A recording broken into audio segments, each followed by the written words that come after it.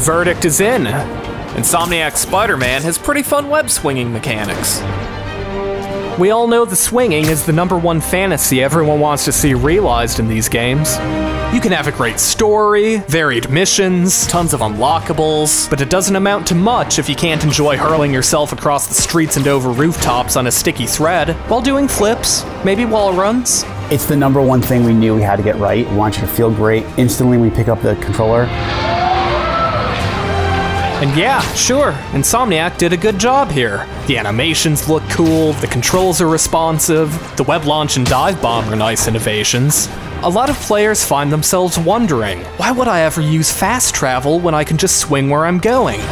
By the way, the correct answer is that you get to see these neat animations. But the real question is, has Insomniac stumbled upon the Holy Grail? Have they created the best web swinging ever? Well, to answer that, we'll have to take a trip back to 2004. The one, the only, the original open world Spidey experience. Treyarch's legendary, beloved, timeless Spider Man 2. The former champion in the web swinging arena. So, how's the old fan favorite looking now? Next to a big budget Sony production that looks gorgeous on PS4 and PS5. Well, basically, Spider Man 2 really focuses on physics simulation and doesn't do a lot to spare the player from inconvenience, while Insomniac Spider Man sands off a lot of the rough edges to make sure the experience remains seamless throughout. For example, Spider Man 2 won't stop you from colliding with walls, having your web lines cut short by obstructions, or probably most irritating of all, ending up arcing too low to the ground and losing your swing altogether. Just because the game lets you swing at a given moment doesn't mean you'll get where you want to go. It's up to the player to get it right, and to not completely suck. Taking a much friendlier approach, the 2018 game ensures that your swings always maintain enough height to avoid literally failing a swing, and most obstacles will automatically be Peter parkoured around without any extra inputs. Where Spider Man 2 actively punishes the player for miscalculations, Insomniac's game just works around your mishaps and transitions into wall running or parkour flips. In effect, you get a chance to play it cool and tell yourself, I meant to do that. And then continue on with a totally unplanned move that looks seamless and awesome anyway. It's pretty hard to outright screw up in the 2018 version for this reason, and that means moments of frustration are almost nowhere to be found. There's good reason for this. Insomniac's playtesting led to an interesting discovery players overall preferred having the physics fudged a bit if it meant avoiding persistent control issues. And decisions like these culminated in a system that's easy for a first timer to pick up and play within seconds of taking control and the result speaks for itself. Spider Man PS4's web swinging surpasses that of Spider Man 2. Insomniac's game, I'm confident in saying I think has better web swinging than this. Yeah, Just looking at this slow. right now, it's like, oh god. I can see why it would be fun at the time. Like at the time, I'm, the Hulk was better than this. So does the difference between the two games just boil down to accessibility and polish? Not quite. Because as a result of these mechanics, both games take different approaches to how they represent Spider Man himself. Struggling against physics and failing frequently is a fundamentally different experience to zipping around the city carefree. If we're taking a character perspective, the 2018 approach makes a lot of sense. Peter Parker never really seems to struggle with web swinging after all.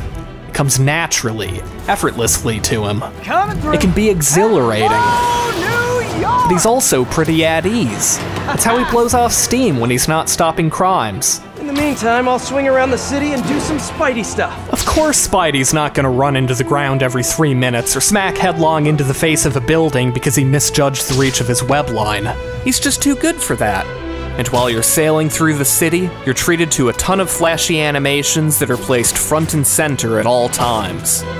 You can even safely move the camera to any angle you like to better admire Spidey's moves. Whereas in Treyarch's game, you're kind of stuck watching the same animation every time, and don't even think about trying to spin the camera. Ugh. Most impressively, Spidey 2018 doesn't demand nearly as much precision in its controls, yet it still manages to make it trivially easy to end up exactly where you want at any time.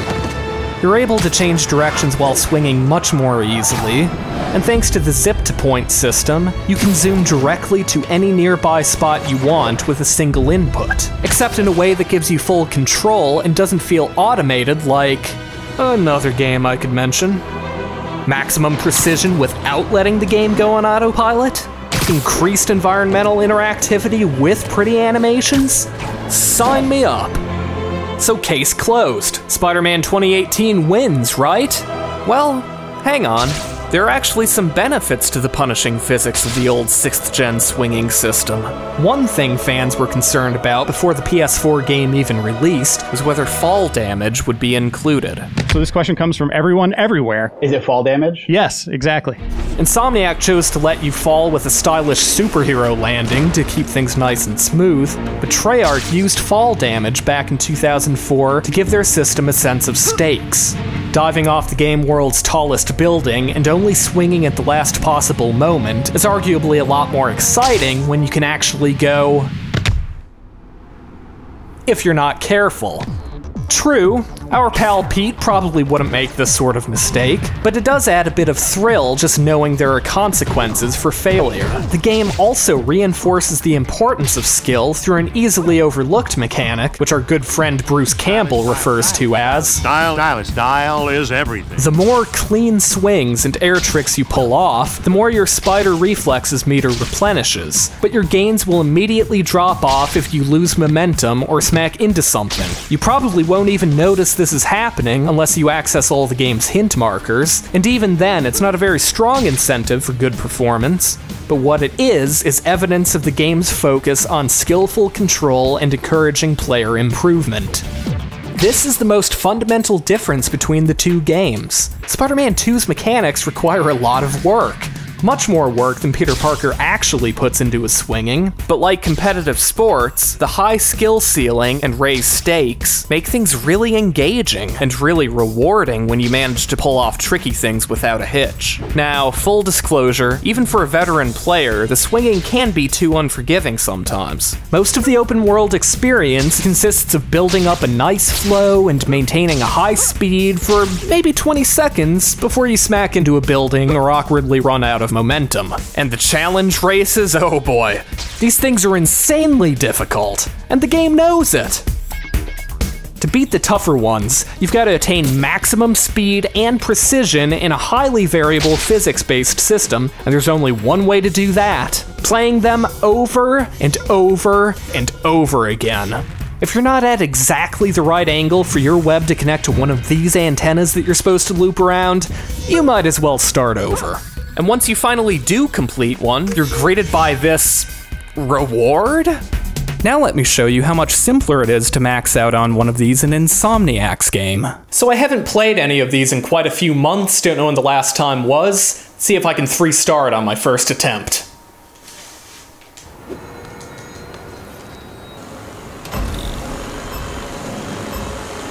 There's the drone.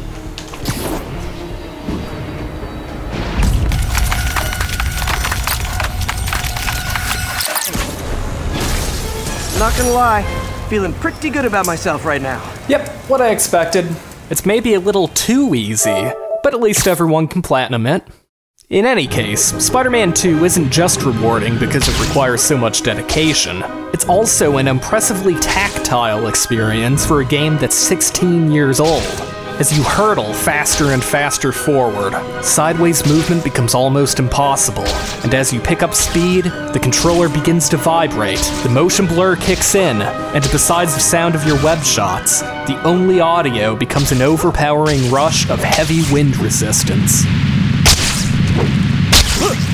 It may be a strange thing to consider as a selling point, but the sound design here is really effective. Because swinging in real life wouldn't just feel graceful like ballet, it's more of an extreme sport.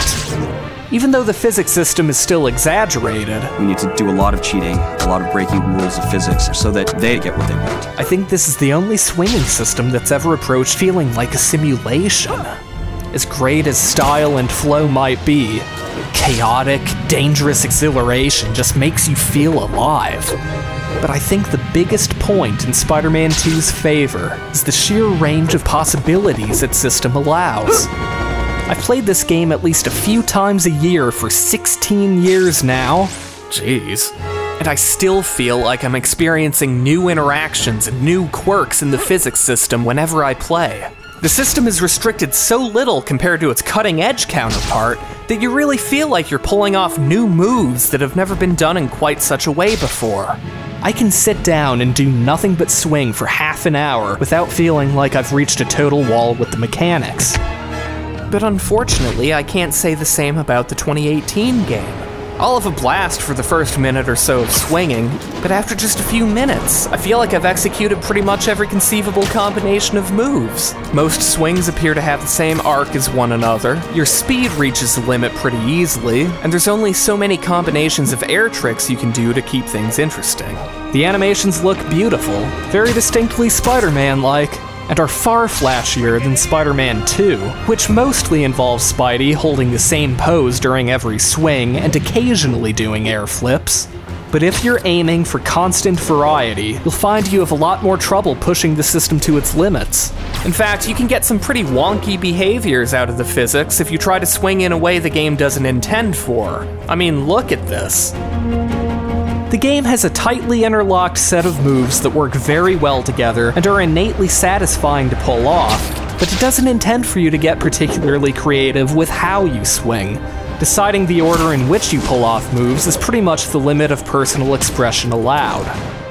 You're just not going to be able to do stuff like this, or this, or this. The system's just too smooth to allow for interesting interactions like that. Now, don't get me wrong, at the end of the day, both systems are fantastic and among the most engrossing movement mechanics ever devised for a video game. Swinging on its own is just far more interesting than sprinting or rolling repeatedly or jumping from one platform to another. Insomniac's Spider Man makes sure this experience never fails to provide immediate wish fulfillment, allowing you to pull off just about every signature Spidey move you can imagine, and with style to spare. But even if the 2018 iteration does the best job of making you feel like Spider Man, I think Spider Man 2's web swinging is a more interesting, unique, and fulfilling experience for those who endure its learning curve and occasional awkwardness. A better Spider Man mechanic? Maybe not. But a better video game mechanic in general? Well, in case you haven't already, I suggest you give it a try. Hey everyone, thanks a lot for watching. I've been working on this video for the past couple months, and it was really a way for me to do tribute to two games that I really like and that I have played a whole lot. Hundreds and hundreds of hours at this point, so it's the least I could do, I think. I've definitely got more to say about some other games, and maybe even movies, so feel free to subscribe if you'd like to see more along these lines. Currently, I'm working on a 45 minute retrospective on Spider Man 2, which should naturally complement this video pretty nicely. And I have a few things to say about some other big franchises too. Wonder which one I should do first. Anyway, I hope everyone enjoyed this video and that you all enjoy playing Miles Morales next month. For now, this is Caleb signing out.